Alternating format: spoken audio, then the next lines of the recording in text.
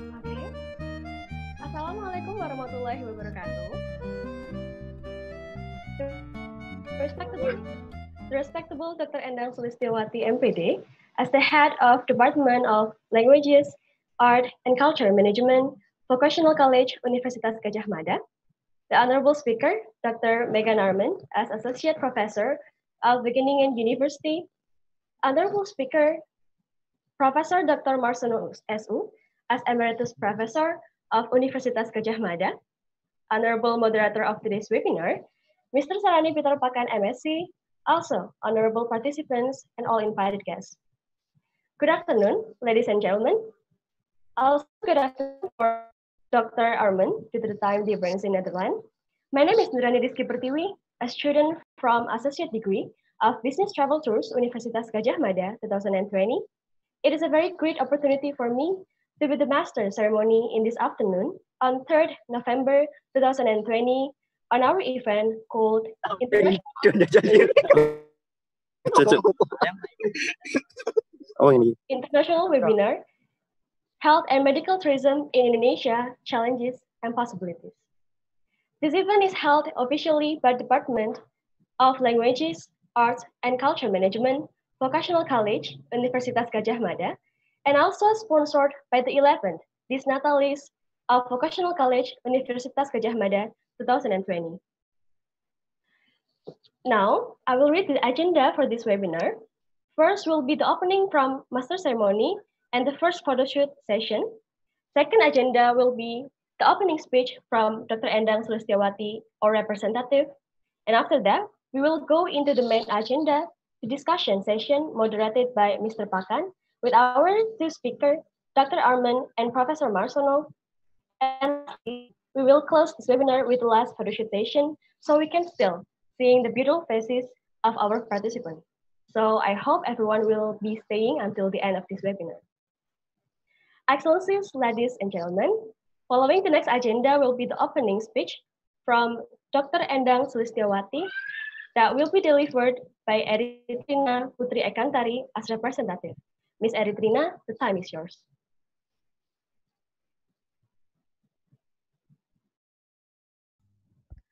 Okay, thank you very much. Good afternoon, ladies and gentlemen. Let me first welcome and thank our speakers today. The first, Professor Marsono, Emeritus Professor from Universitas Gadjah Mada, and the second is Dr. Meghann Ormond, Associate Professor from Wageningen, Wageningen University. Sorry for the mistake. Thank you for being here with us to share with us about health and medical tourism in Indonesia. As we all have learned, this global crisis due to COVID-19 has changed most of all aspects in our life and especially tourism. Due to the need to comply to health protocols, we must stay at home and are allowed to travel only when necessary. Tourism experienced a steep decline during the past few months and only rising a bit recently. Many experts have been speaking about what we can or should do to adjust ourselves to this situation concerning tourism because people need to have leisure. We need picnic, traveling is fun. While combining health and travel may have been impossible at first, later we learned that it is something complementary and indeed they are two things that can go together. Today, Professor Marsono will explore about the traditional medicine in Bali and how it can potentially be the site of and, the, and to research about health tourism.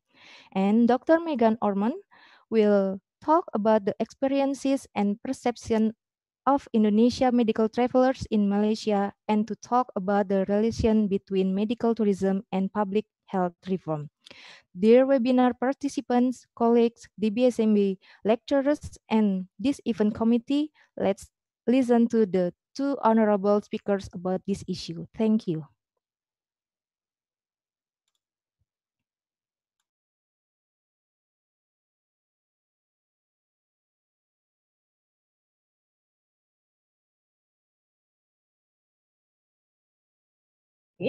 Now, before going into the next agenda, we will like to do the first photoshoot session that will be led by the operator team.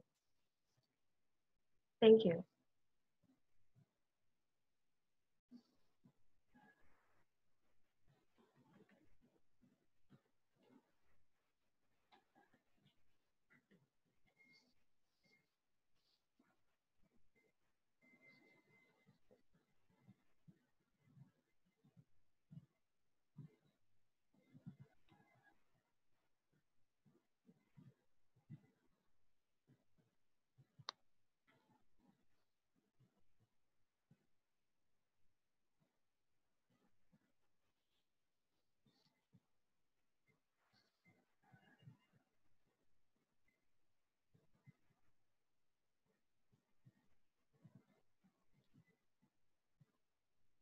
Okay, perhaps uh, we will do the photo shoot session uh, right after the speaker discussion.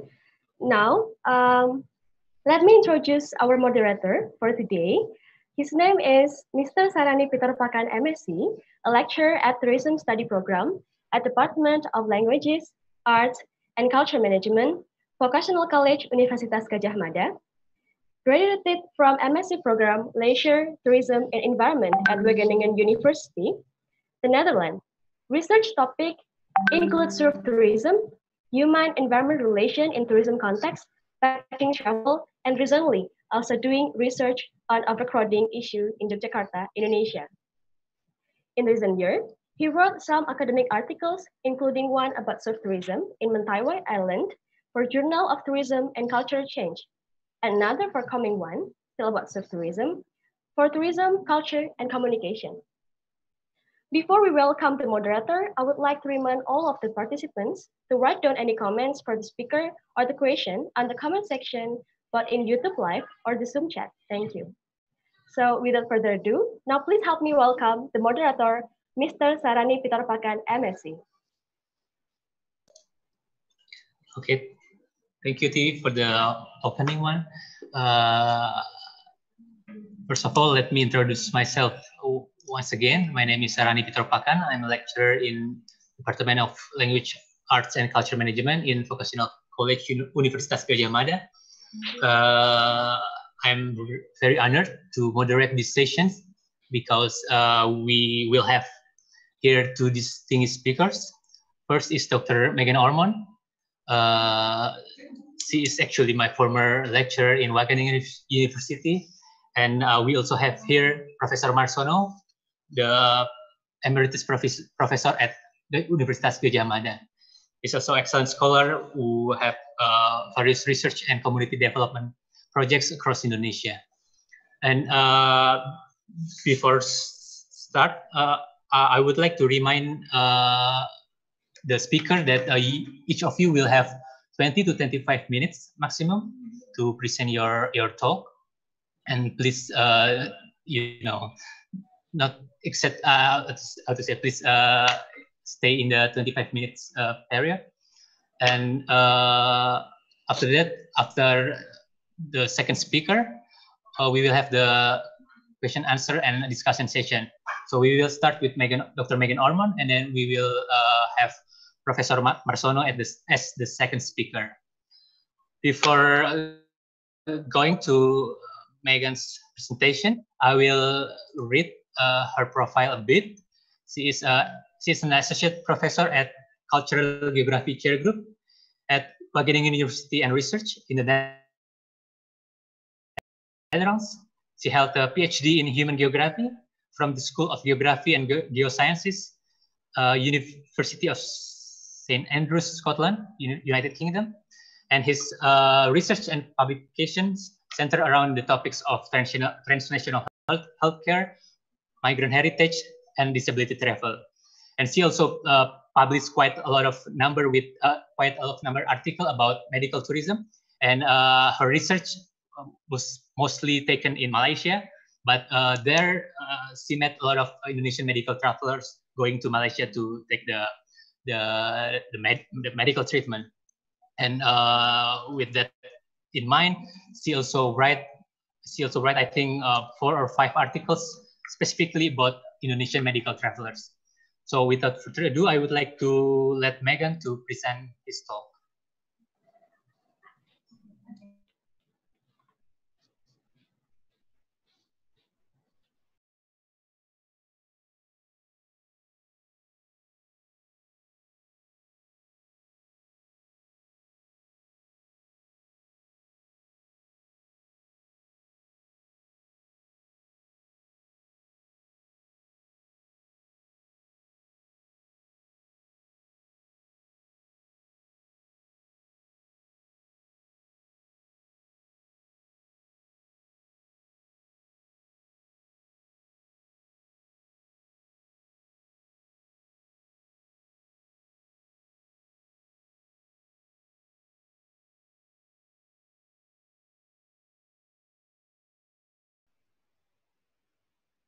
Afternoon to all of you in Indonesia. I watch, and I'll try to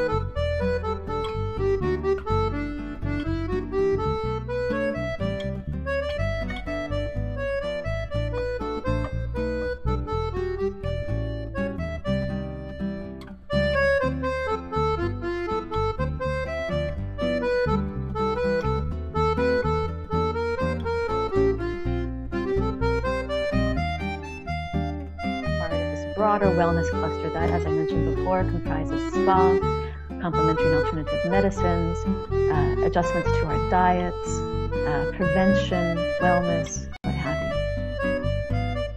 Another key concept that I want to focus on with you before we get into things more thoroughly is this concept of motivation.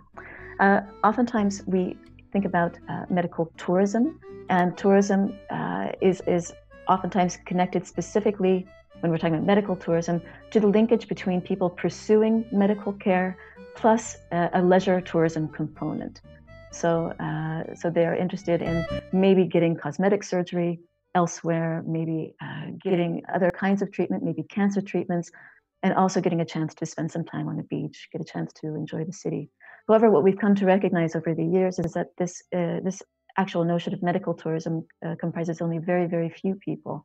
Most people, when they're traveling abroad uh, for healthcare or for medical care, are doing so specifically for medical treatment.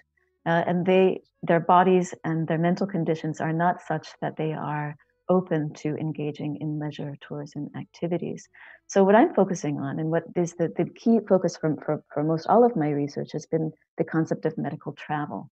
So looking at people who are crossing borders specifically for medical treatment and not uh, for bringing in the tourism industry, for engaging in the tourism industry per se.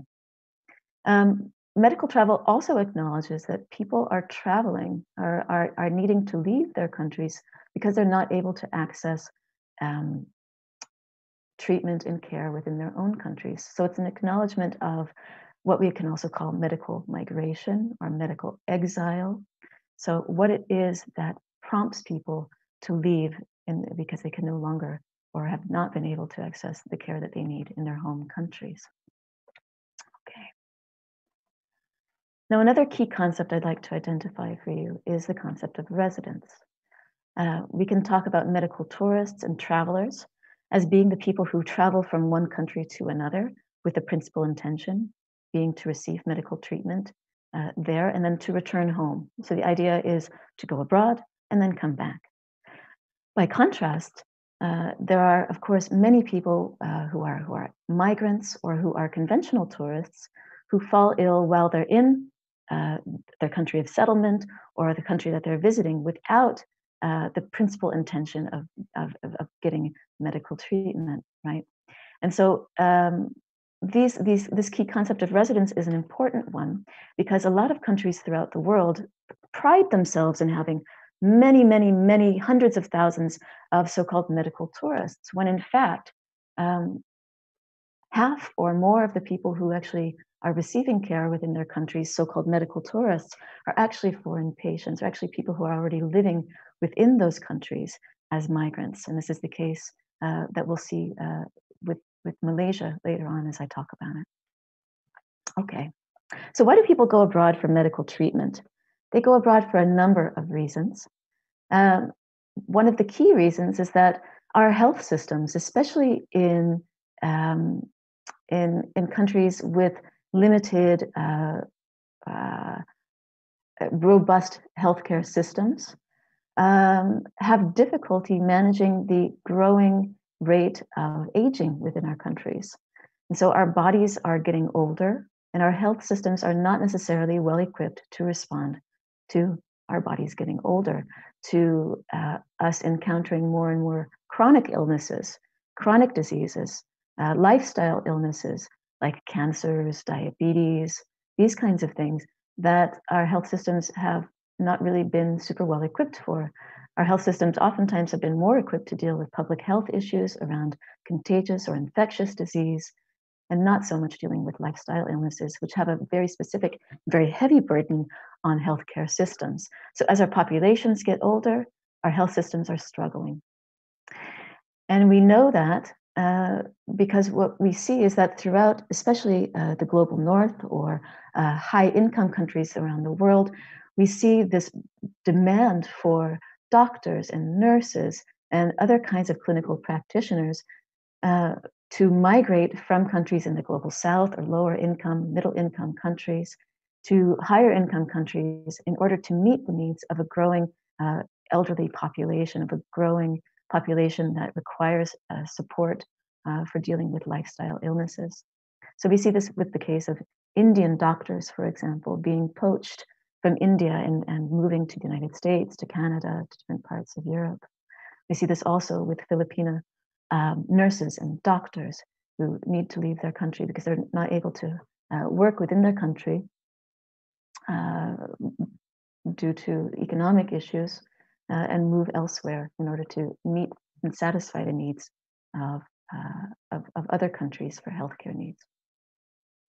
So we see, if you take a look here at the map, that the proportion of doctors and nurses throughout the world is highly bloated in certain parts of the world and uh, emaciated in others.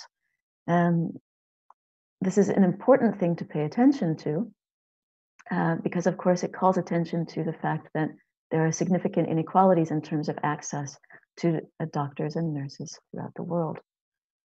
So, what we see here as part of this kind of broader um, model with which I believe many of us are familiar, this model of um, uh, paying attention to the ways in which core uh, high income uh, countries, high income groups uh, uh, extract resources uh, and services from peripheral countries, from, from lower income countries.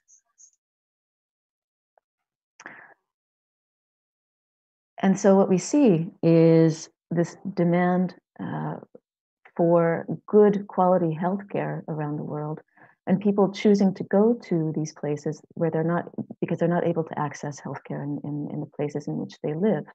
We see this, of course, uh, throughout many parts of the global south. So you have here an example in the cartoon of, uh, of, of Nigerians choosing to go to the United States in order to satisfy their dental needs and their basic medical needs.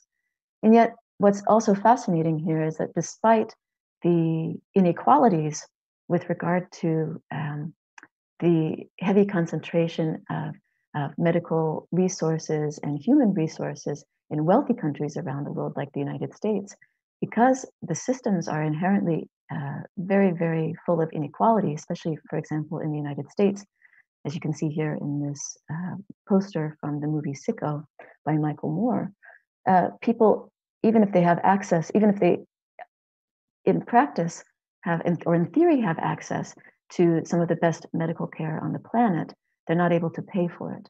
And so what we see is that people may be traveling to wealthier countries for healthcare, as in the case of Nigeria, but we also see people leaving wealthy countries like the United States in order to receive healthcare in, in countries where they can access cheaper healthcare. So we see Americans, for example, going to Latin American countries, to the Caribbean, to India, uh, to Malaysia and other places around the world. So we see people moving around the world in order to access things they're not able to access in their home countries. And yet, and what's unfortunate is that most of the research that's been done on so called medical tourism or medical travel has paid specific attention to what we call the spectacular uh, north south flows of people crossing from wealthy countries into poorer countries in order to access healthcare. And yet, the vast majority of people who are crossing borders in search of medical care are people who are crossing them between global south countries. And they're doing so in order to address uh, a range of routine health needs. And I'll be talking about that further in a bit. What we see, though, because of this emphasis on this extraordinary or spectacular movement from global north to global south for healthcare, or for medical care, we see um, uh, a number of of destinations emerging in order to respond to that. And I'll talk about that in a minute. But why is it that people actually go abroad for care? Well, they might go abroad because they want to address issues around uh, their, their beauty, their physical image, their physical appearance. Uh, they might go abroad in order to address um, uh, specific, very high tech healthcare needs that they're now able to access in their home countries, maybe exper- experiential, uh, sorry, experimental uh, health treatments, medical treatments like stem cell therapies that are regulated in certain parts of the world and not regulated in others. They might travel abroad for uh, surrogacy, for commercial surrogacy, in order to access um, women's bodies in order for um, babies to be to to be able to be born for a couple. They might also travel abroad in order to access um, other people's uh, body parts So there's, a, of course, a, a very uh, significant trade around the world in, in organs like kidneys and other parts that are taken from people, most of the time poor people, and, and, and implanted into the bodies of wealthy people. This is a, an image of people from the Philippines who have uh, gone through kidney surgery to donate, uh, to, to, to give a kidney to someone and be paid for it uh, in exchange. People also travel, of course, abroad to access um, uh, or, uh, orthopedic needs. So as, as I mentioned before, populations are getting older. So we see an increasingly uh, increasing demand for hip replacements, knee, knee replacements, and things like that as our bodies age. We're trying to access cheaper uh, medical care. People also go abroad in order to receive more accurate diagnoses, not pleased or not able to access um, good diagnostic um, procedures within their home countries. They might also do it in order to access certain kinds of technologies that are unavailable in their home countries or access them more, uh, more uh, affordably. Or, and as we'll see with the case of Indonesia later on, people also travel abroad for medical care in order to access more reliable pharmaceuticals, more reliable medicines, uh, because the, their countries may not have the regulatory procedures necessary to ensure the quality of their medicines in their home countries. So this is just a summary of what are some of the pulls and pushes for why it is that people cross borders for medical treatment. Yeah, so we've looked at how it's how, how it can be very expensive in certain places, and people can save a significant amount of money in other places if they, they receive medical care abroad. We've also looked at access. Um, so maybe a lack of uh, or insufficient healthcare facilities or personnel, um, ethical and legal restrictions in one country that may not be uh, applicable in another, questions of quality around uh, e- uh, inferior standards to what's on offer abroad or lower tech facilities and equipment compared to what's available elsewhere. Just a summary. Where do people go? So, as I mentioned, there's this, been this extraordinary focus on movements from the global north to the global south. And as a result, we see a very interesting kind of medical geography emerge of destinations that are seeking to target these wealthy uh, global north uh, patients. And you can see that here on the screen. Some countries might be uh, obvious to you uh, India, Singapore, South Africa, perhaps. Um, but I think it's a really interesting geography of, of places that are being uh, developed as destinations around the world, largely uh, for their cost effectiveness, but also due to different forms of regulation that they offer. These are just some of the, the, uh, the advertisements that you can see from different countries around the world that promote themselves as medical travel destinations. Here's Singapore, for some of you who might be familiar with it. Uh, sorry, Malaysia, so what you see ultimately is that countries start to compete with one another for access to medical, uh, sorry, for um, for for international patients. Right? We get uh, maybe you you guys are already familiar with this this notion that Malaysia says that it has the best of everything. Singapore uh, promotes itself as having the best doctors, etc. And yet, this is problematic. This notion that Indeed, people from the global north are moving to the global south for medical care. This is, again, a very small uh, percentage of people who are doing so. And yet, uh, what we see is, again, not only countries and governments promoting themselves as medical travel destinations, but of course, hospitals promoting themselves as such as well. And so there, there's this massive kind of development uh, throughout the world of hospitals that are seeking to cater to the needs of wealthy clients, wealthy, wealthy patients. And you can see here on the screen, uh, this is a, a, a, a cartoon about uh, Thai hospital that caters to wealthy patients, wealthy white patients, wealthy global north patients, while local patients are being told to go to the public hospital far away. So we see this um, aggravation, this increase of distinctions between um, between wealthy and and and and poorer patients, leading to two-tier care wherever people are. So let's go to Indonesia for these last few minutes I've got for the talk.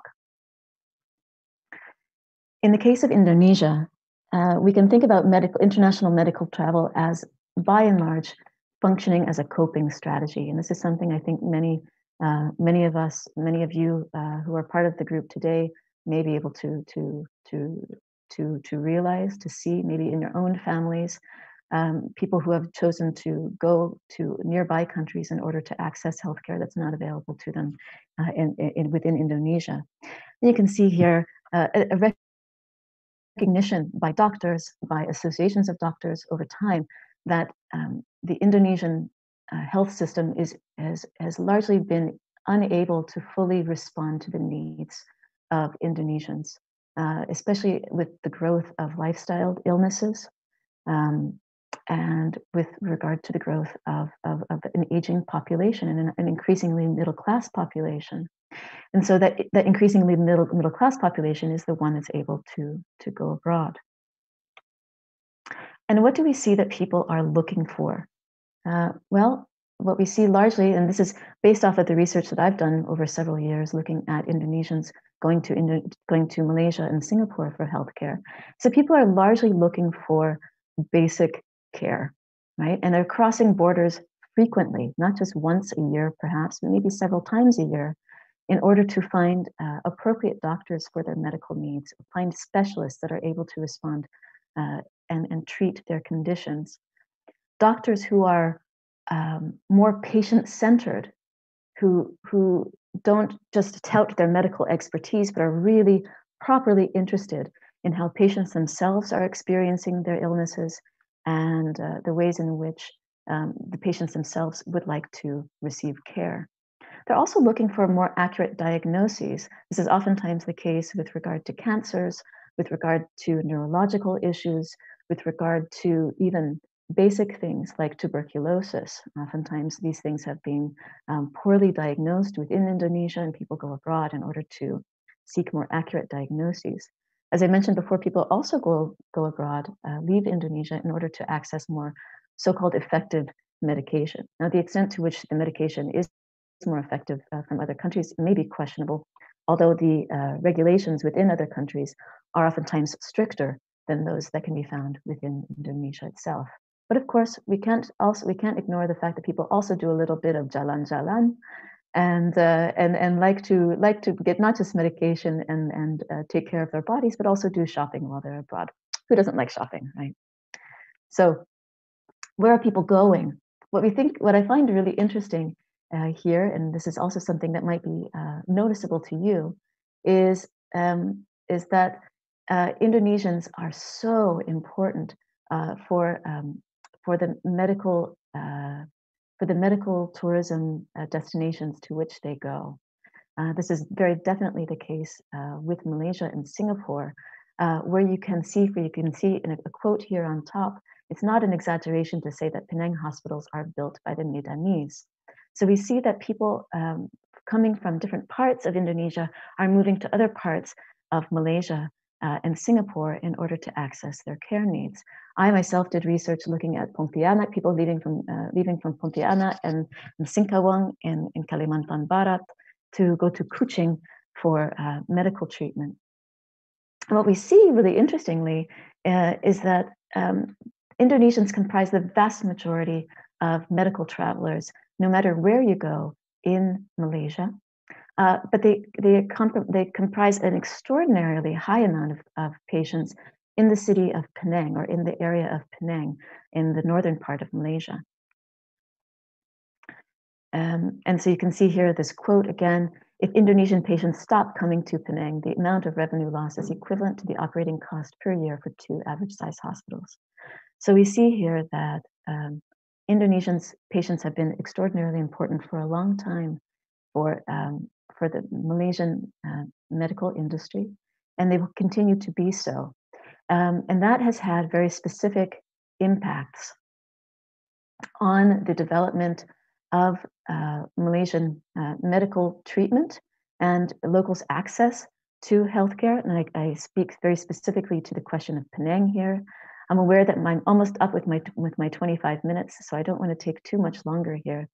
But what I want to say, and that's important here, is that there are sometimes there's there's a belief that Indonesians are are taking over Penang, for example. However, what we've found in recent studies is that this is not the case at all, that uh, hospitals have, have, have developed over time to respond to Indonesian care needs. But what we do notice is that Indonesian, um, Indonesian patients are making use of, of, of course, private Malaysian healthcare, and they're doing so in such a way that um, locals may be competing for uh, private um, specialist care with Indonesian patients.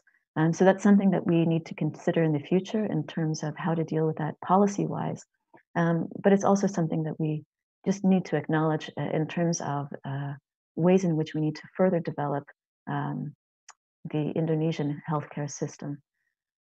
Uh, I won't go into the impact of COVID-19 because I believe that I'm over time, um, but I just want to thank you all for the opportunity to present to you today, and I look forward to talking with you uh, as we have questions. So thanks a lot. Thank you, Meghann, for your very interesting presentation, and I believe that we will have time to discuss more about the uh, impact of COVID-19 toward uh, to you know Indonesian medical travel in the discussion session later. So uh, we will have the second speaker here, Professor Marsono. So as you know, as you know, the, the pandemic, this COVID-19 pandemic uh, has uh, a severe impact on tourism industry, but also uh, it provides another opportunity in the health uh, industry, let's say. And in the case of Indonesia, we have a growing, uh, you know, attention on herbal medicine, and this is actually the topic that Professor Marsono will will tackle in this in in his talk. In, in his talk. So there is a slight change in the in his talk. So uh, I mentioned before that uh, he will talk about the Balinese medical uh, herbal medicine, but uh, he actually will focus on the uh, Javanese herbal medicine as a potential site of tourism attraction or tourism uh, say, tourism industry, let's say. Uh, before I let Professor uh, give her his, his presentation, I will uh, read her his profile a bit. So he is an emeritus professor at Universitas Gadjah Mada. Uh, previously, he teach at Faculty of Cultural Sciences, but uh, now he moved uh, to Vocational College uh, at UGM and his research and community development uh, activities center around the, the topics of destination development, mostly on agri agrotourism, village tourism, and religious tourism in Yogyakarta, Nusa Tenggara Barat, and uh, Jawa Tengah. He also once uh, did a community development project about Jamu Gallery in Indonesia. Jamu is a herbal medicine in uh, Javanese herbal medicine. So he also did research in in this uh, herbal tourism uh, topic. Currently, he is also the head of Indonesian Tourism Scholars Association in DKI uh, Yogyakarta and Central Java region. So without further ado, I would like to I would like to let Professor Marsono to give this presentation. Please, Prof.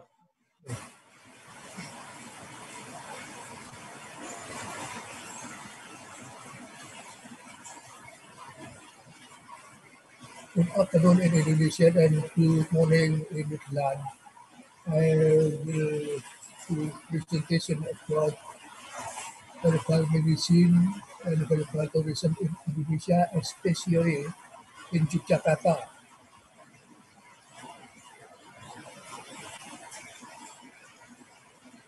History of Jamu in Indonesia, especially in Yogyakarta, was has been used in ancient time, especially uh, Javanese includes from 3 million until 1,000 years before Christ. The Javanese ancestors depended on nature at the time. In maintaining their health, they took advantage of natural elements. The natural element derived from plant and animal. Those natural elements we use for herbal medicine and also special objects we made to have good luck. Those are conducted by primitive prehistory human beings. The oldest document on maintaining health by drinking Hilpan medicine is found in the relief of Borobudur Temple in Magelang, Central Java. It was built in the 8th century by Sajjadinate called Mataram Kingdom. After the Japanese learned to write on 9th century, which was documented not only cultural background description, mythological, historical, moral ethics, philosophy, religion, law, custom, literature, art, economic, astronomy, technology, architecture, traditional food, but also traditional medicine, or in Javanese, or in Indonesian, jamu. Jamu in the 18th until 20th century literature. Classic manuscript of herbal medicine are classical Javanese manuscript which contain about the explanation of herbal medicine. Herbal medicine is not only to treat disease, but also to maintain health and wellness. Javanese classical manuscript of herbal medicine are usually given the title Serat Primbon, Primbon Jampi, or Jampi.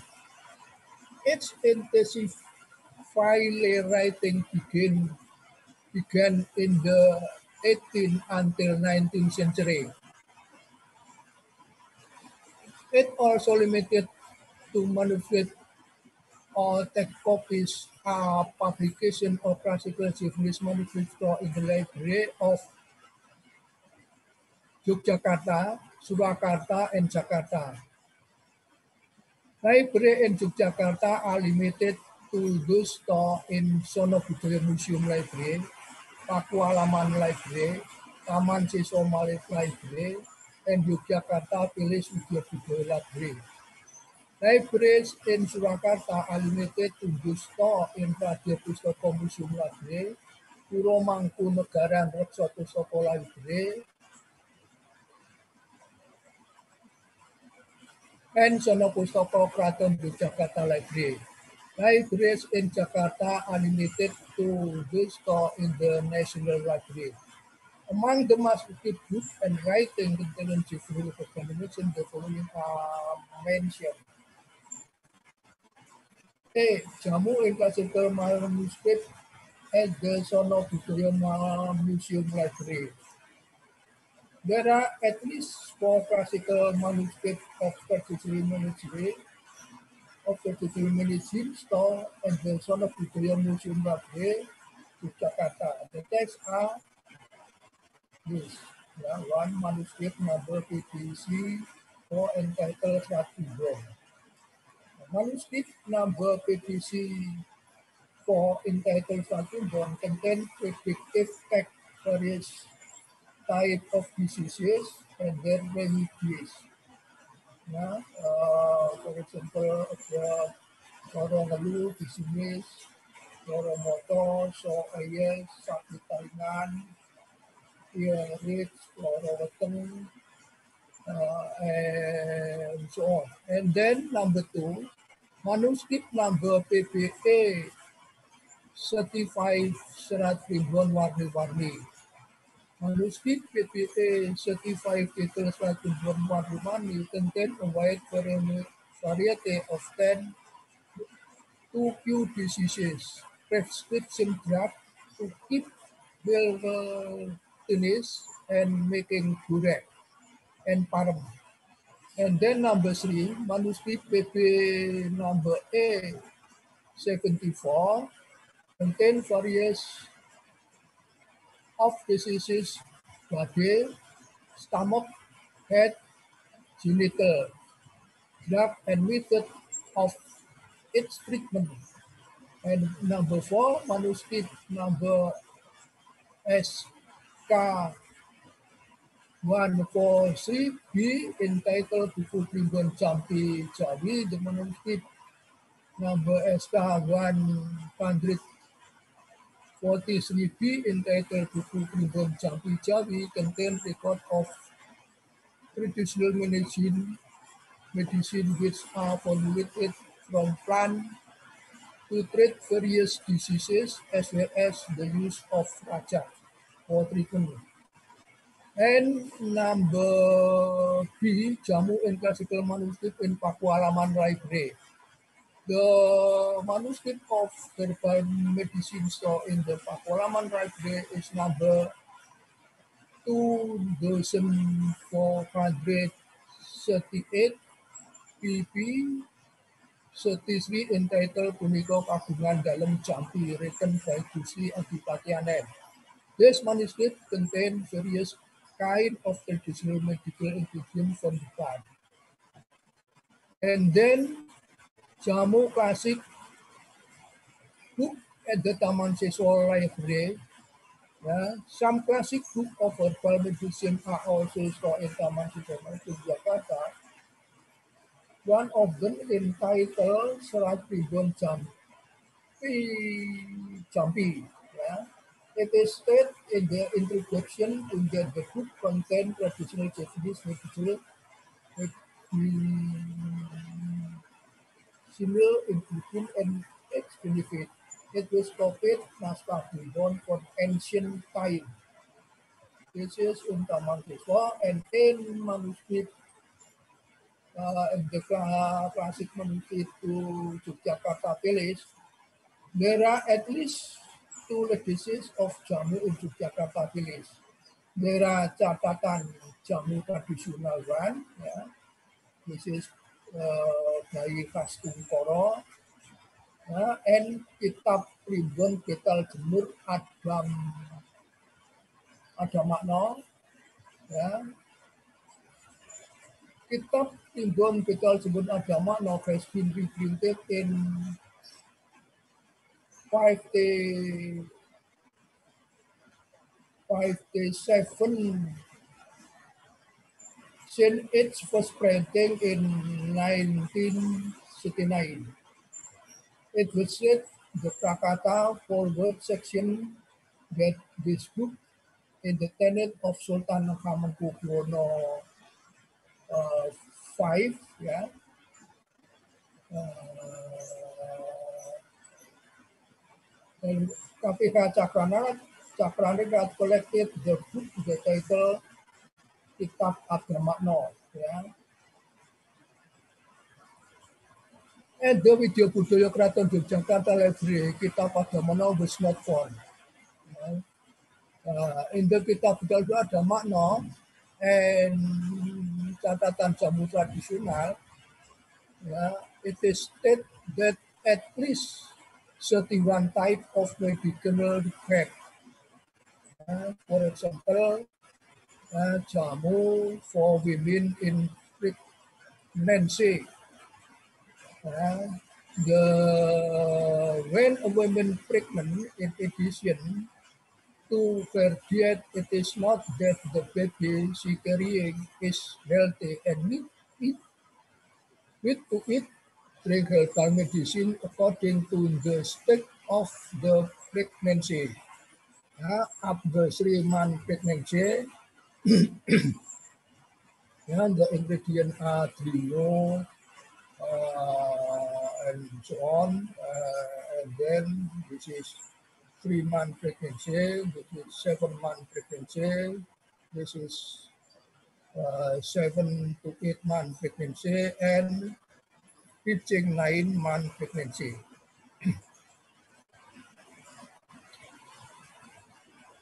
and then jamu to keep the body slim. Yeah. In order to keep the slim, especially to, uh, for girls, they are they can drink uh, dried three garden flour instead of tea. And then jamu to have children.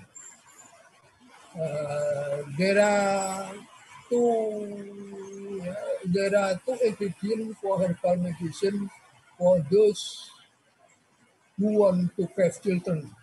Uh, Pengle and number B, cili lembu yang cair. Jamu for men, yeah, there are quite a lot of stamina drug for men. Medicine from, uh, from various ingredients can be grouped into three groups yeah, in the form of drink, food, and powder. Yeah. Uh, the leaf of Jokotwa, the leaf of Joyokuruso, uh, Lempuyang chili, Lempuyang chili, turmeric, pepper leaf with uh, leaf tungtung teluk, atas keluaran, temu, samar silo, ares banana, everything morning with work, wake up to drink a glass to clean Banyuwan, Banyuwanta. And then jamu kuyang, yeah, and then jamu beras kencur, put its medicine, yeah, the painting the clothes with minang and for tooth mark that are removed so that they can recover quickly, gargling with one point kettle leaf water. And then number eight, is bleeding. The nose that is bleeding need the back backlog with a roll leaf. And then number nine, medicine for, for skin diseases, palu bukit. Yeah, and then medication for anemia, milk, eating liver or milk. And number 11, medication for high blood pressure disease. And number 12, room diuresis yeah, by Latuson. And number A, jamu in classical manuscript at Radio Pustaka Museum. Yeah. The classical manuscript at Radio Pustaka in Radio Pustaka Library have at least one entitled Ratibon uh, by Atmo Supono. In this primbon contains various, various benefits of plant and animal element that can be used as medical head. And then number eight, jamu in classical manuscript Sopo ya itu Sopo Stoko, Mangkunegaran, uh, yeah, uh, are many classical manuscripts of traditional manuscript in Pura Mangkunegaran and Sopo Stoko. Even now, this library not only keep classical manuscript but also continue to add and its collection by edit new published traditional medicine literature. Yeah, and then Jamu in classic manuscript in Sono Pustaka. There are quite a lot of manus of classical manuscript of traditional medicine stored in the Sono Pustaka Library, Surakarta. Yeah. Uh, one of the most complete is entitled Kawruh Bab Jampi Jampi Jawi. Yeah. Manuscript number 500 5T, yeah, R-A-S-M-P, yeah, 617. Yeah. And Jamu in classical manuscript in the National Library. Manuscript of traditional Malay, Balinese, and Javanese herbal medicine are also stored in Jakarta National Library. At least those bits have been Latin, Latinized and translated into Indonesian a Malay manuscript entitled Kitab Tip. Ya, Desa Ibu, buku resep, Javanese manuscript Usaga, uh, Tetobo, and Balinese Usaga. And then, yeah, number three, Jamu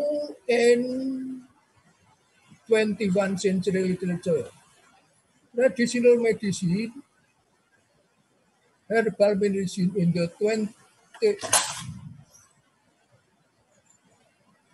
in the 21st century literature is contained in two forms, their book and website.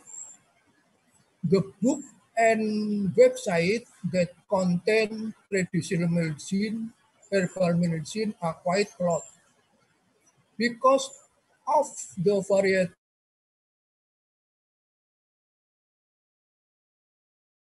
and one website. The description, the description is as follow. Yeah, A.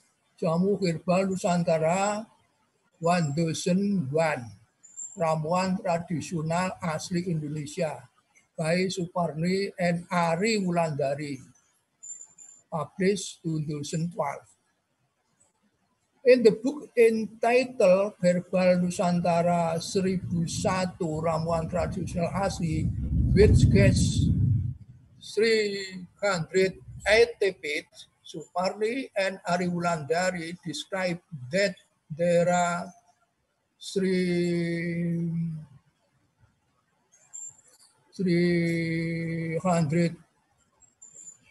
347 medical plant or traditional Indonesian herb.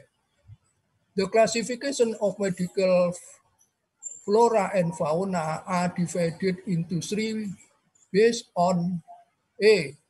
Medicinal plant, yeah, in this 128 pieces, B. Herb and species, 195 pieces, three other natural ingredient from flora and fauna element, 24 pieces.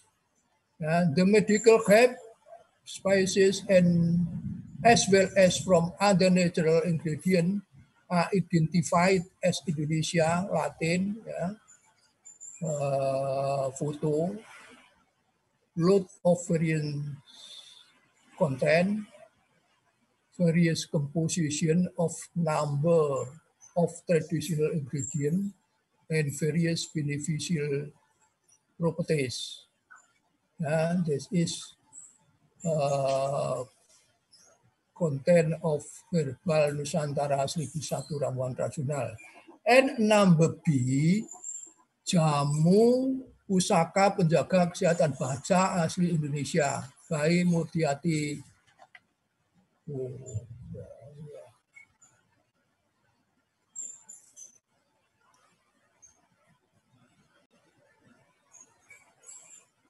Baik Murtiati Karjito, ya, uh, and then because the time only five minutes, I am continue to jamu in website Jamu Kodokas Yogyakarta.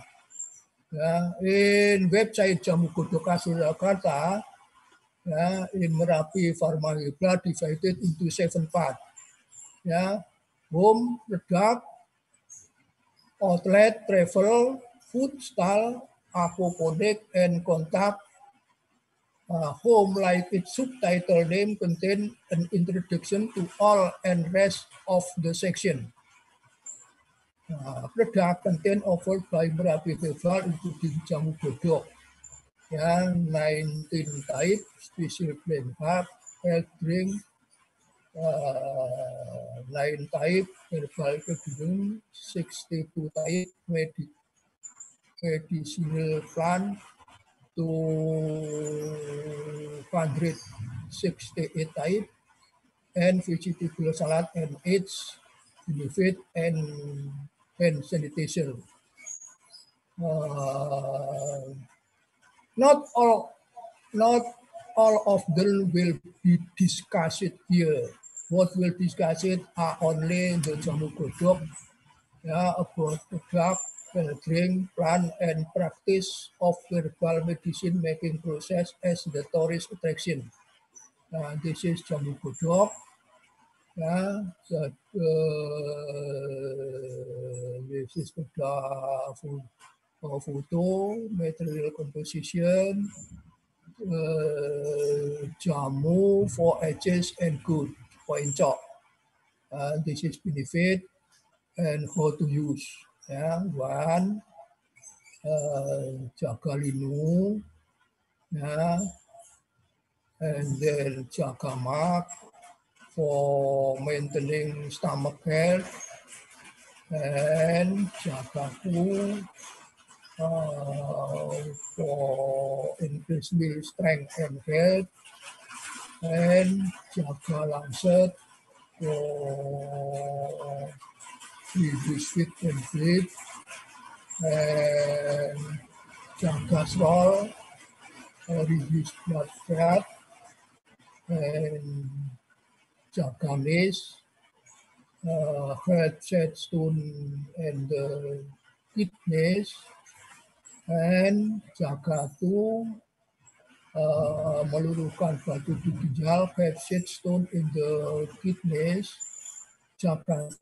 May reduce itching on the skin, uh, and Jagasrat uh, relieve itching and pain in the joint, and help drink medicine product.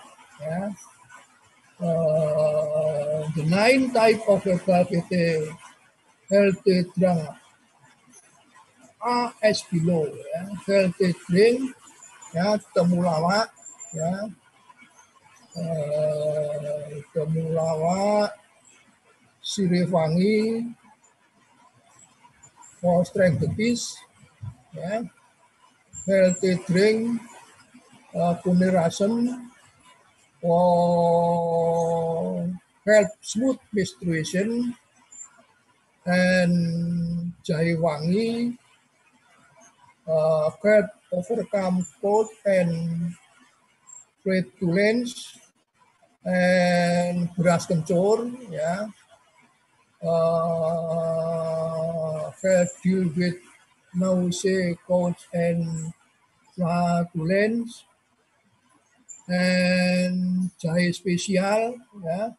Help overcome cold and flatulence, jahe merah, well, help cope with migraine, stiff and sore and reduce uric acid level, and kunir putih, ya, help overcome kanker, uh, bronchitis, and uh, this is new, yeah, with Gang Corona.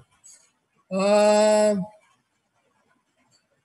herbal plant and the practice of making herbal as a tourist attraction. Jamu Godok khas Yogyakarta was open 1999. Based on the data in the booking list visitor, which just filled in from January 2019 until January 2020, it seemed that the potential new tourist attraction opened the LA uh, 2009 uh, until early 2020. Yeah. In one year, January to December 2000, uh, 2019, there were 72 visits with three dozen eight three dozen eight hundred thirty three visitors. Thus, the average visit per month in here, yeah, uh, six, yeah, six times.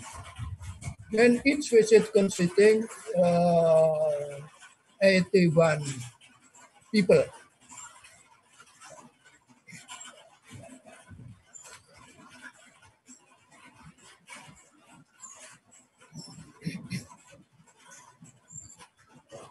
Gross income in one year, yeah, this is uh, three.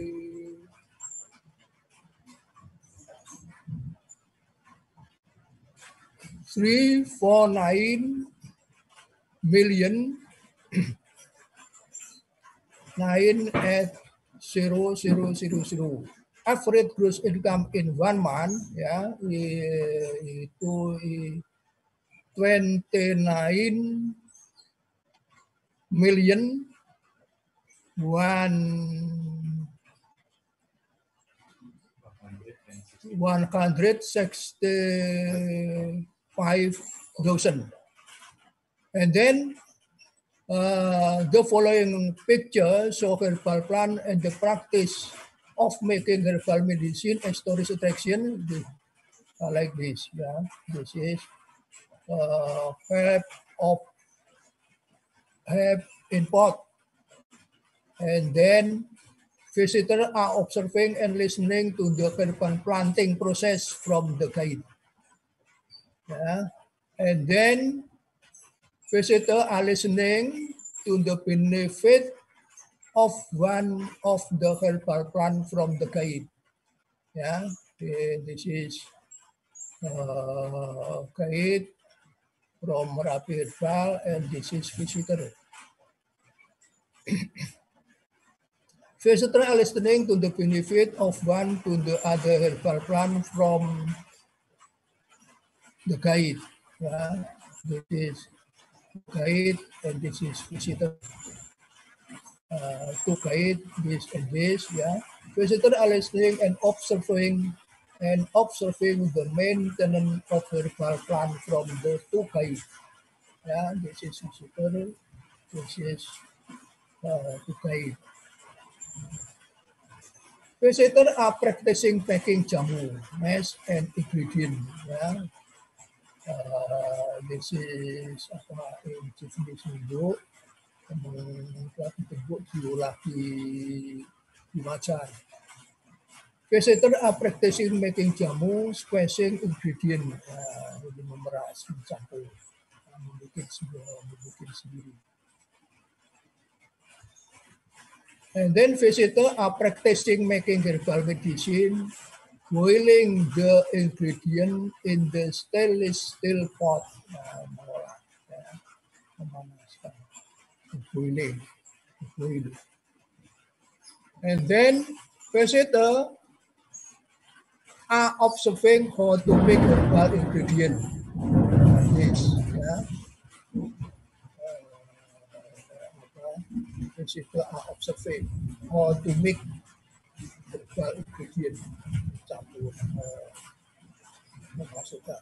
Visitor are observing how to make other herbal ingredient and listening to explanation from the guide. Yeah, this is uh, guide and there are uh, visitor. Visitors are observing the final concoction of herbal medicine that are ready to sell. Yeah. Uh, this is uh, finished pack and visitor Ah, membeli. Conclusion, in order to to maintain the health of Indonesian, especially the Javanese, it is needed to take advantage to the plant and animal around. The use of herbal plant has been conducted since prehistoric time. The oldest document of the use of herbal plant is found in the relief of Borobudur Temple, 8th century. In accordance with time, the recording of herbal medicine changed according to the progress of the era.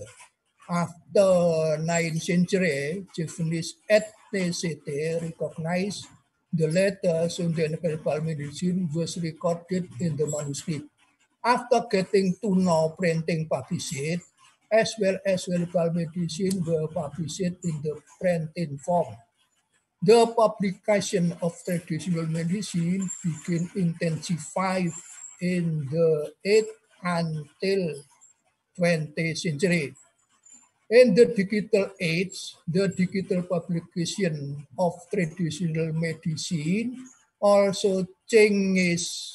Yeah, 21st century, the new concoctions, concoction were created for the creativity of community to answer to challenges of the emergencies of new diseases. One of the new concoction is drink wedang corona. It was created by Merapi Herbal to maintain the body immunity from COVID-19 attack.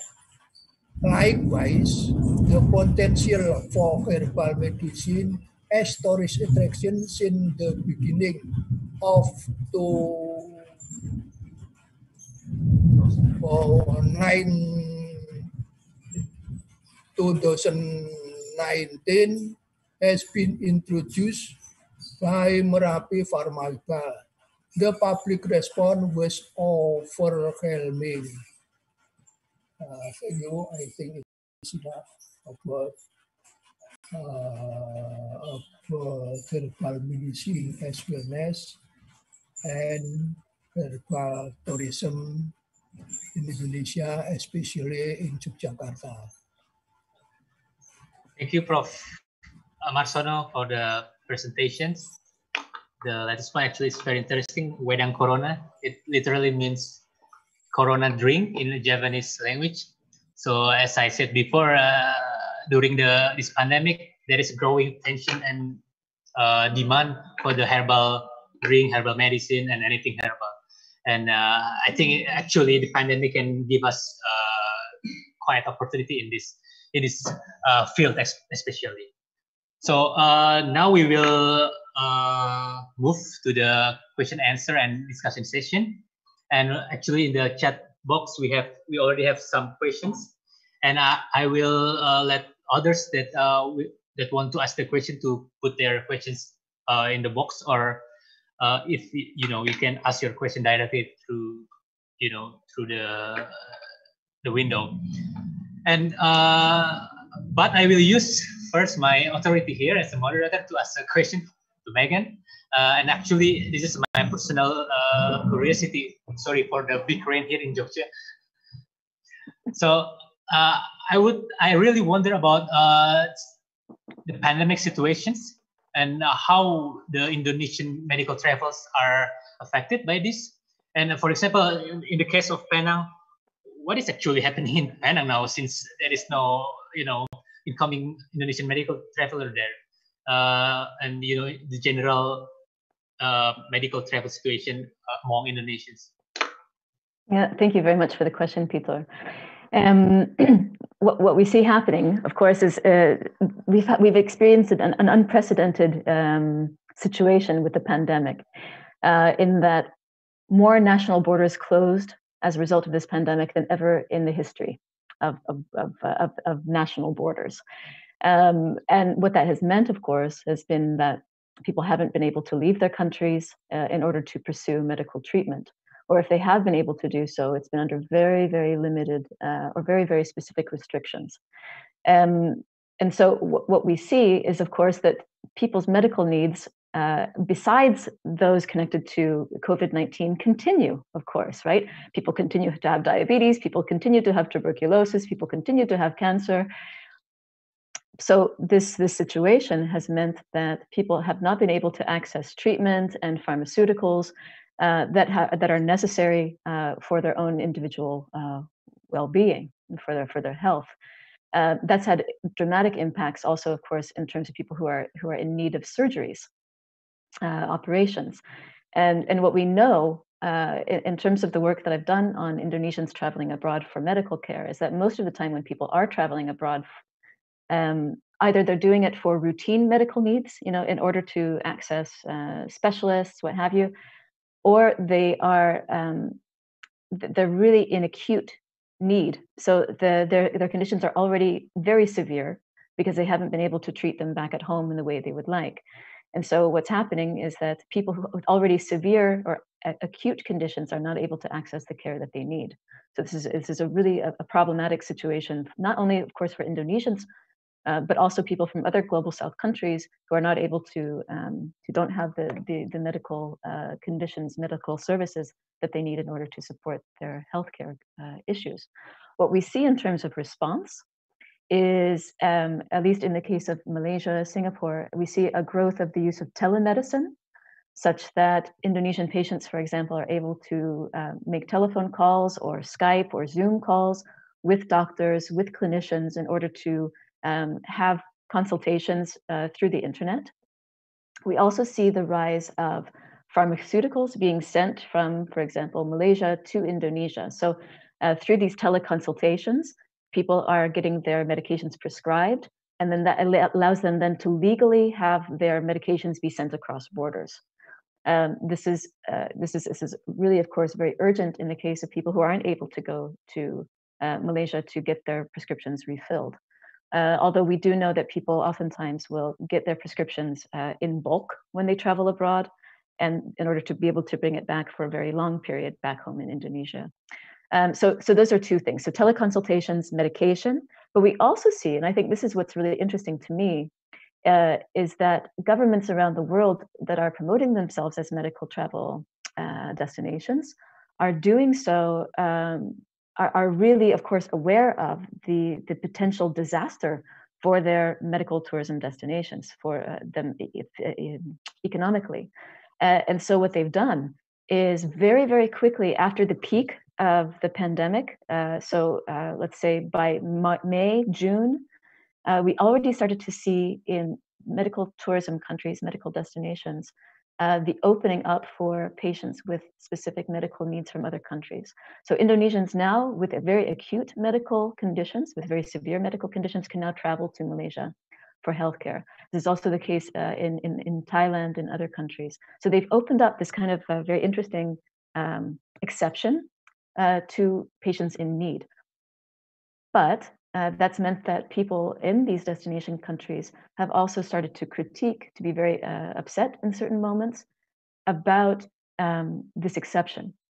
So letting sick people into uh, into the country when already uh, people are concerned with health issues and overburdening the medical system.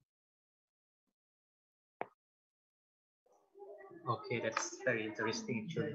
And I was wondering why not the government built their, you know, our own health reform uh, back home. And I think it's also another interesting point.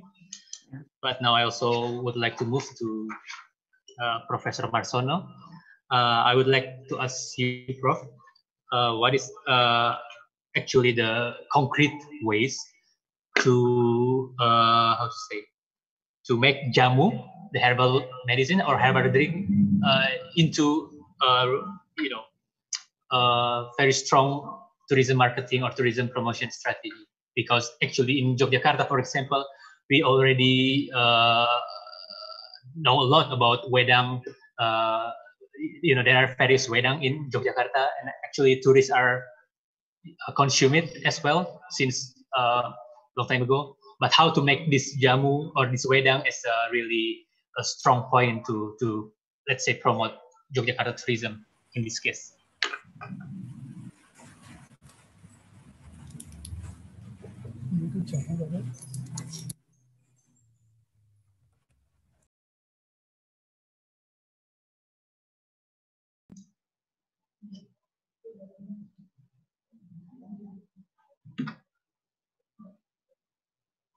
Wait.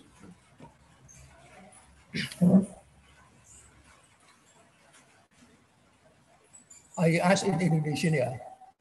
I answer in Indonesian. Yes, please, Prof. I will try to summarize. Ini Merapi Pharma Herbal saja membuka itu sebagai daya tarik wisata baru tahun 2019. Dan tanggapannya masyarakat seperti tadi luar biasa. Artinya potensi jamu herbal itu yang itu merupakan warisan dari nenek moyang yang sudah run temurun sebenarnya sangat luar sangat potensial untuk eh, apa di ya direvitalisasi lagi. Masalahnya adalah sekarang anak-anak muda cenderung cenderung inginnya eh, ya itu itu juga dipengaruhi oleh pendidikan yang dari sejak TK, SD sampai perguruan tinggi seolah-olah warisan budaya nenek moyang ini tidak pernah disinggung. Tidak pernah di ya di nah gini juga dari wawancara saya dengan Merapi Herbal itu Merapi Herbal sejak corona ini tidak pernah tutup.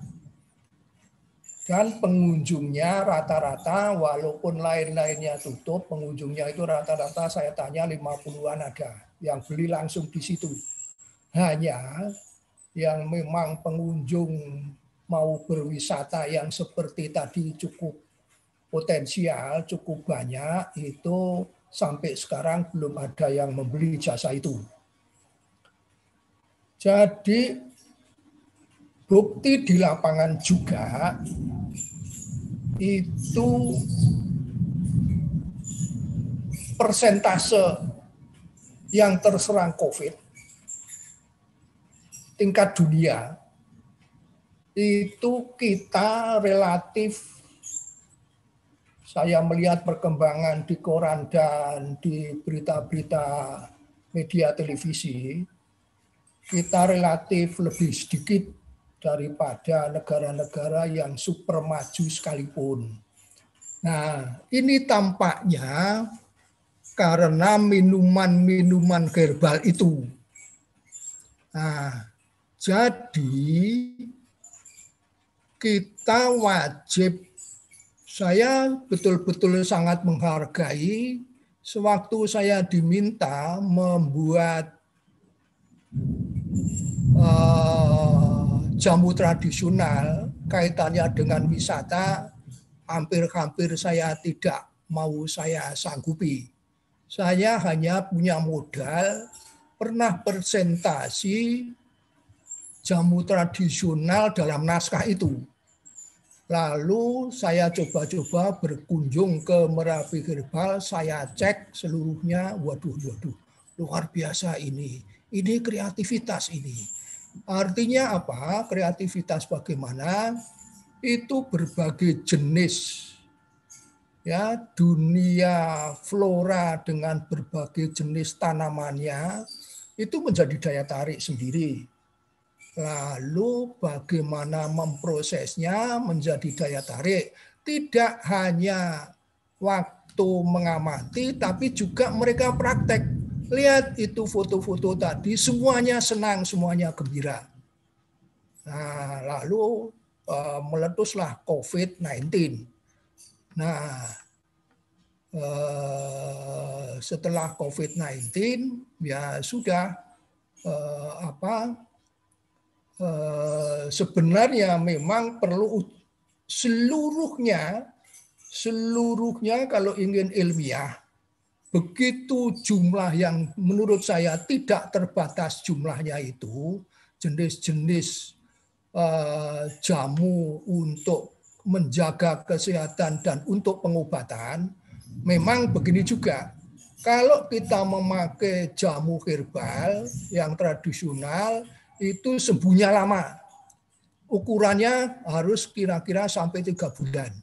Tapi kita sangat kaya. Nah sangat kaya tapi uji klinisnya hampir semuanya itu belum pernah dilakukan dan hanya turun temurun.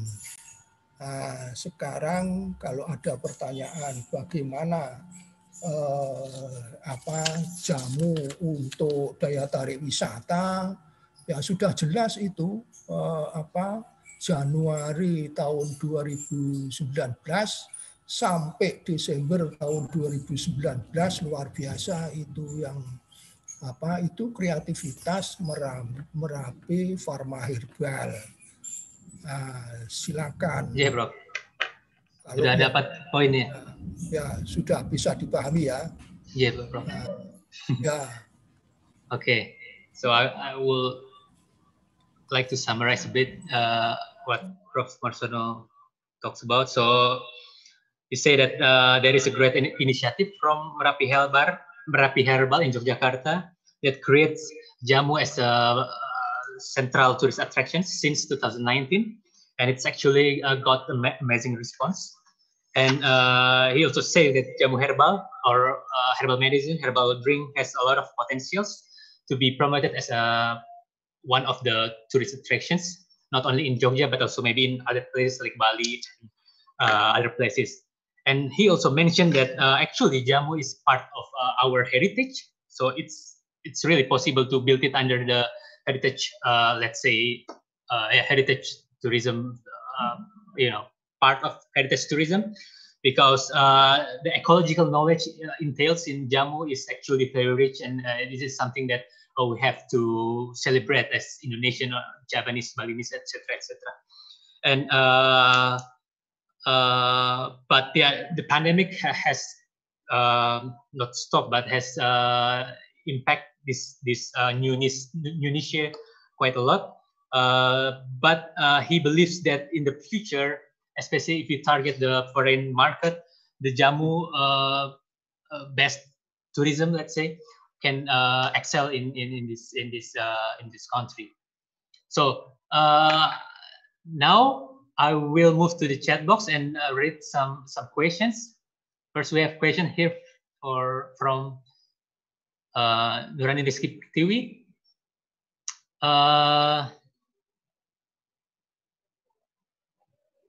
So she would like to ask uh, about this, yeah, the, the psychological, uh, how to say, the psychological share, the psychological, uh, it's like, uh, yeah, the psychological value of uh, medical tourism, especially among Indonesians, because uh, she noticed that uh, some people in Indonesia, after when abroad to have medical checkup, are bragging it to to the friends, family, etc. And this is actually a very interesting question. Please make. no, it's it's it's a really interesting point, Nurani. Is, is it Nurani or uh, Rizky? Um, you can call me Tiwi. Okay, Tiwi. Okay, all right. Thank you for your question. I really appreciate it. No, you're absolutely right. Um, if in many cases, of course, uh, traveling abroad is associated with status, right? Whether that be for uh, pure leisure tourism purposes or that be connected to to to medical um, uh, satisfying our medical needs and concerns so there's no doubt there that uh, that people definitely make use of uh, medical travel medical tourism in order to uh, demonstrate their status within their societies back home uh, uh, we see this especially what's, what's, very interesting is so I, I, mentioned before I've done work in Kalimantan Barat with with people who are traveling to um, to Malaysia for healthcare, to, to Kuching, which is the, the closest kind of Malaysian city where people can receive healthcare. And what I noticed is that, um, you know, people people would oftentimes go to Malaysia to satisfy their their their basic needs, their most urgent concerns. Um, but if they really wanted the top, top, top quality, they would go to Singapore, or they would go to Australia even um, because so so we, we we can very definitely acknowledge that status plays a specific role. Uh, ideas of, of, of hierarchy these are oftentimes connected to um, to economic uh, you know you know countries that are wealthier but also countries uh, you know with uh, you know, you know with with with white people uh, also being the ones who who, who are doctors um, so, so it's a racialized issue. It's a socioeconomic question of, of, status, very definitely. But at the same time, I think it's very important to acknowledge that the vast majority of people who are traveling for healthcare, for medical purposes, are doing so because they need it. Um, and and that one of the things that really uh, uh, ham hammered that home to me when I was doing my work uh, in in in Kuching and uh, and in Kalimantan Barat was that um, in in big cities like Pontianak, for example, there are very, very limited um, services for people with cancer, limited onco oncological treatment uh, possibilities. And so if you've got cancer, your options are to go to Jakarta for care or to go to Malaysia or to Singapore. And oftentimes it's cheaper uh, to go to Malaysia than it is to go to Jakarta. And I think that says something very specific about the nature of the Indonesian health system. Um, uh, and, and I think it's something that we, we really need to pay attention to because it's a, it's a direct reflection of the inadequacies of our own health systems. And I say that as a person who comes from the United States originally and who also saw my own family choose to go to other countries for medical purposes because they weren't able to able to access what they needed. So there's something to also consider there. Yeah. Thank you. Thank you, Meghann. Uh, we also have here another questions from Regiana Amalia. Uh, she says medical tourism has a good impact benefit for the patient and the destination hospital in other country. But what if, for example, all Indonesians are going to Malaysia or Singapore or Thailand or etc. or another country? Uh, is there any impact that uh, that yeah that this this this this trend have uh, on Indonesia or on the country that uh, experience this? And I will add maybe uh, in the context of health reform, how actually medical tourism, health reform in Indonesia, how actually medical tourism can add the nuances uh, in our attempt to, to build or to design a good or solid uh, health reform. Yeah, th thank you so much for, for the question, Peter. Thank you, Regina, for your question as well. Um, how to begin? So because this, this is an extraordinarily complicated uh, issue. Um, I think what's important to first observe is that Indonesia is not alone uh, in in acknowledging the fact that many of its people are choosing to go abroad for healthcare. I mentioned the Nigeria example earlier in my presentation. Uh, and in both cases, in both countries, what we see uh, also in, uh, in social media, in, in media coverage, is oftentimes a public shaming of people who choose to go abroad for their medical needs. Uh, we see this especially when it comes to politicians who have chosen to leave their countries uh, and, and, and get medical uh, treatment abroad. Uh, but we see this also among people who are part of the middle class and upper middle class. And the idea is that is that Indonesia, Nigeria, these countries are losing an extraordinary amount of money uh, that could be invested in the national health system in order to improve it. But because these services don't exist or don't exist uh, to the standard that people would like, they choose to go abroad. So they're investing their money elsewhere. So ultimately they're voting with their pocket pocketbook, right? Uh, so so I've been very interested in this question of, um, thinking about um, the ways in which we consume, right? So political consumption ultimately becomes becomes a very significant question. Where do we choose to put our money and why? And what does that say about the systems in which we participate and how we choose to participate in them? Uh, so that becomes a very interesting situation. So yes, it has extraordinary impacts on destinations. What I what I argue, and, and I have tried to show in, in different things I've written over time, is that I think that medical travel, of course, it can take money away from systems, but it can also teach systems very important lessons. Uh, so uh, Indonesians who are choosing to travel to Malaysia, to, to, to Singapore, to Australia, what have you, are learning about how doctors can interact with patients. They're learning about how to advocate for themselves and to identify the kinds of, of uh, medical services that are available to them uh, and the different kinds of pharmaceutical options, what have you. So they're able to bring that knowledge that they've acquired abroad back to Indonesia and to begin to demand it as well in their in their local health systems. I did interviews with doctors uh, in Pontianak in hospitals and in private clinics, and they acknowledge that um, their patient attention to patients uh, is not as good as it could be. And this is part of a kind of broader tradition among doctors. And this is only really, and only recent generations also in other parts of the world. Uh, doctors uh, oftentimes are seen as you know very respected members of our society and they have extraordinary knowledge however uh, they oftentimes think that they're the best and that they know best and so what we see is this movement towards patient centeredness uh, throughout the world, where we start to pay attention to a dialogue between doctors' knowledges and patients' knowledges of their own bodies. And that's uh, what I think is very powerful. And we start to see awareness of that among doctors in Indonesia. So there's going to have to be a very important systemic change with regard to the structure of the health system. But there also has to be a soft change among about the ways in which doctors are trained and how they interact with their patients. Okay, thank you. It's very interesting. So actually, travel can act as, uh, you know, self-correction uh, mechanism. Mm-hmm. Maybe not only in medical travel, you know, because sometimes when we travel, we actually self-correct ourselves, right? So mm-hmm. medical travel is just one part of, of it. Is there any questions that uh, other participants would like to ask directly, I will let you to ask uh, yeah, directly if you have some questions to Dr. Margaret Ormond and Professor Marsono.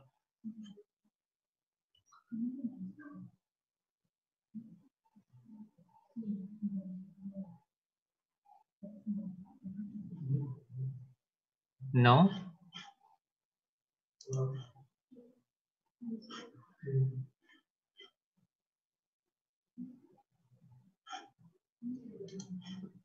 Okay, uh, maybe as a closing, I would like to ask both of you to yeah, to deliver a, a like take home message to, to all the participants here. And I will start with Meghann. Oh, Peter, you put me on the spot. Hmm, uh, a good take home message. Hmm. My take home message, I think, would be um, we need to do more research from the perspective of people who are traveling abroad. And I would really love to see, you know, you all showed some interest. We have how many people? We have 94 people right now in this room, and you've all shown some interest in uh, health and medical tourism, medical travel. Uh, and I would just like to invite you and encourage you very, um, very strongly to think about how you might be able to uh, contribute to developing research on what it is that that draws people uh, outside of their countries of residence for for medical purposes, and what are the effects of it. Um, and I'd love to to keep in touch with people who who who would like to explore that further. But I think this is a discussion that needs to happen um, in a lot of different places. You know, it's in it's in the health sector. It's in it's in um, it's within our families. Uh, it's in within our communities, and and the more we're able to talk about these things and explore them with facts, uh, the more useful uh, it can be, and the more change we can bring. So, thank you all very much. Thank you. Now I will let uh, Professor Marsono to deliver his take-home message. Yes. Monggo, Prof. Yeah.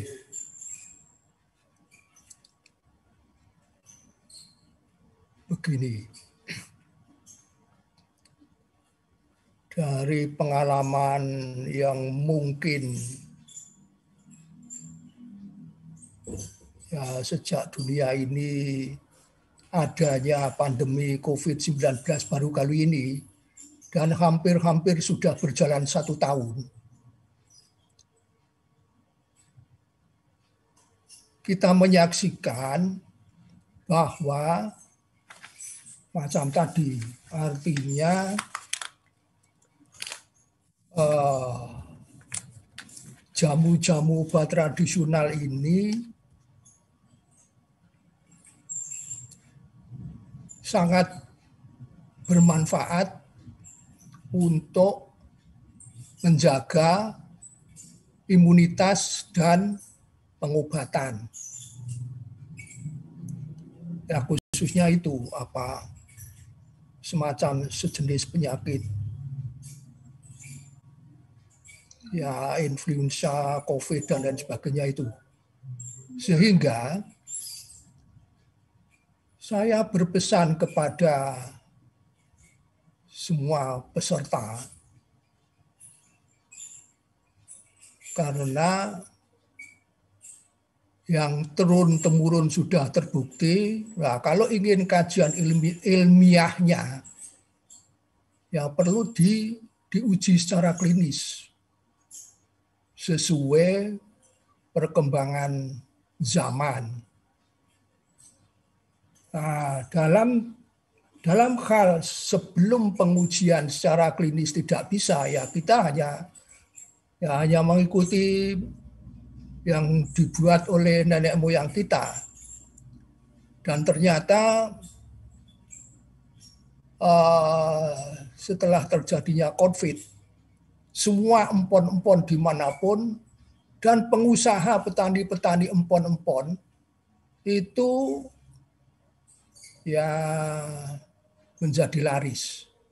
Artinya bisa meningkatkan ekonomi. Nah, jadi monggo saya sebagai generasi lansia berpesan fakta. saudara-saudara, mbak-mbak, mas-mas, ya, apa yang saya utarakan hanya sebagian kecil yang sebenarnya dari Sabang, Merauke, Kalimantan sampai yang bagian selatan itu mas-mas mbak-mbak e belum semuanya tergali. Dan saudara-saudara lihat semua daftarnya itu, daftar ekonomi setelah dikaitkan dengan pariwisata, eh, apa fakta menunjukkan sama-sama beruntungnya.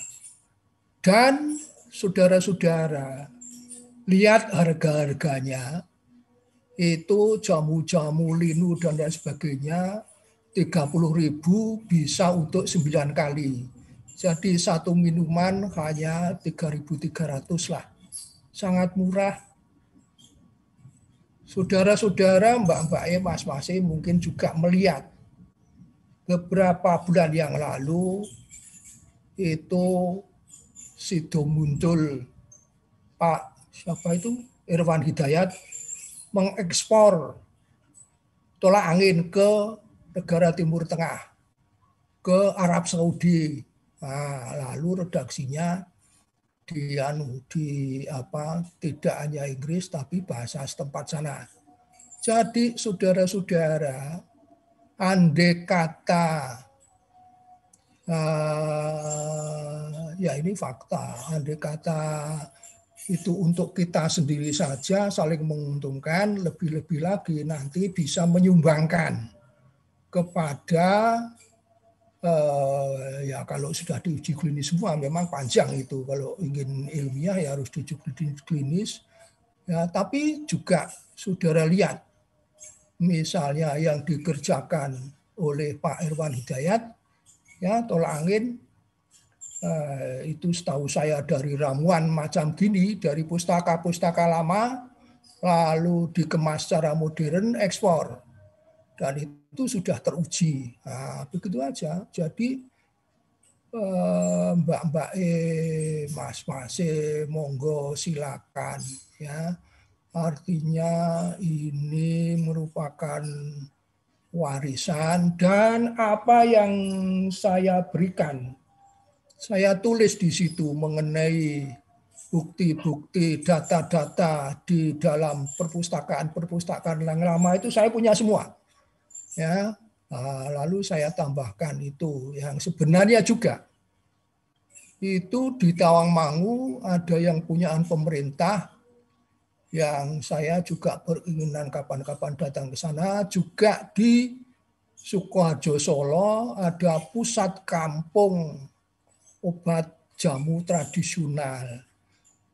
Jadi eh, ya terutama untuk kesehatan ya sudah terbukti eh, apa bisa menjaga imunitas, menjaga kesehatan.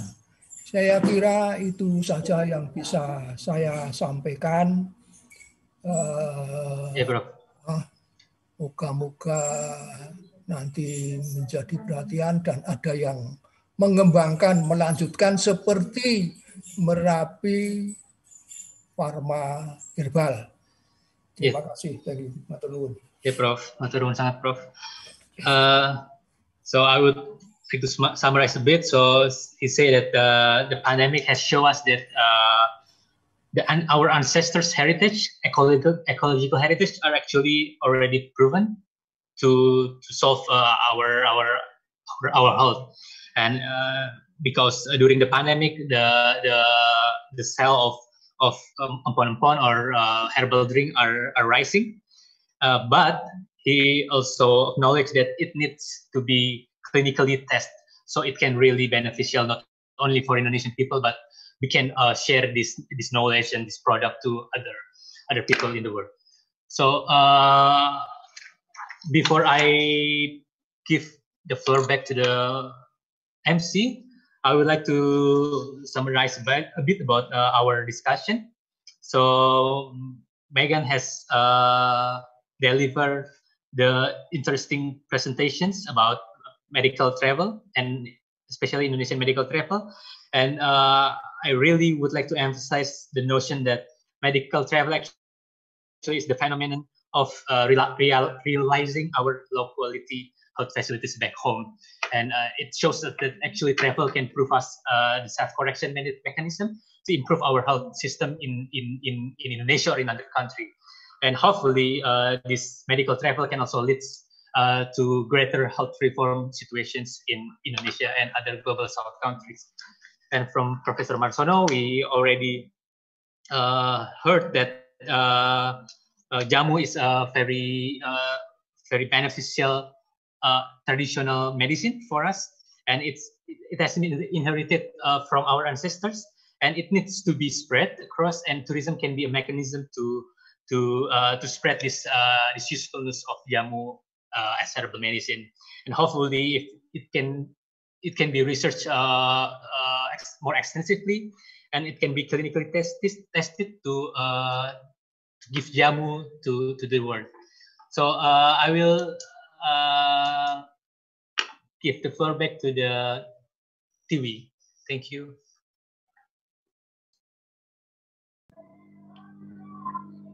Okay. Uh, I would like to thank you for all participants and also Mr. Peter as the moderator. Uh, again, I would like to thank you, Dr. Meghann Ormond. Thank you so much, especially for the information of Indonesia medical traveler. I was surprised about the record actually that we created in Malaysia. And also, thank you so much about, uh, for Professor Marsono for the information of Jamu and its historical process in the Jakarta specifically. Thank you so much for uh, a good moderator, Mr. Peter.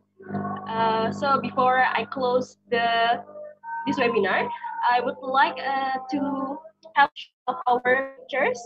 So please, for all participants and also guests, to actually open your camera so we can shoot a picture.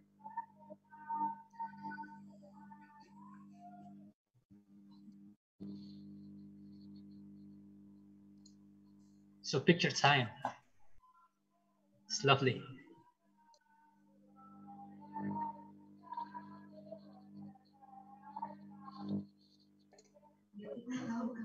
So we can count now.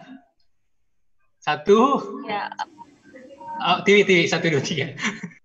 oh, yeah. I will count now, and then the operative team will capture the the faces. Okay, so one, two, three. Say cheese. Please wait, Mbak. Tiwi. Okay. okay. Are you ready, Mbak Opi?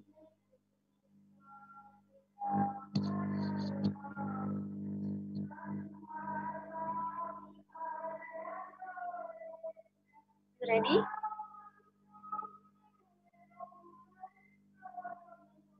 I will count now. Three, two, one. Thank you.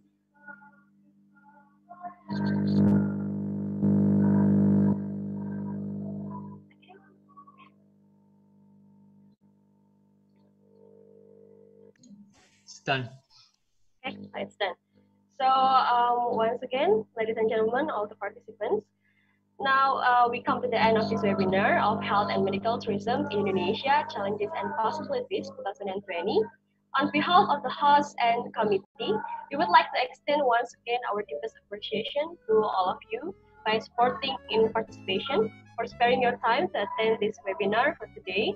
Once again, we would like to thank you. Good afternoon and wassalamualaikum warahmatullahi wabarakatuh.